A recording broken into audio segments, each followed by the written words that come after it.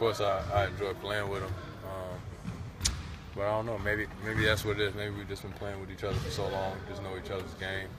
Um, and I think uh, I think it's got a lot to do with just you know when we got traded here, just being on the plane. And I remember that that whole plane ride uh, to Cleveland um, from Memphis. It was me and J.R. just talking to each other about what we had to bring to the team, um, how much we watched, you know, Cleveland on our own. Um, whether it just be they, they had a TV game, we just sat up watching them when we were preparing to play them when we were in New York.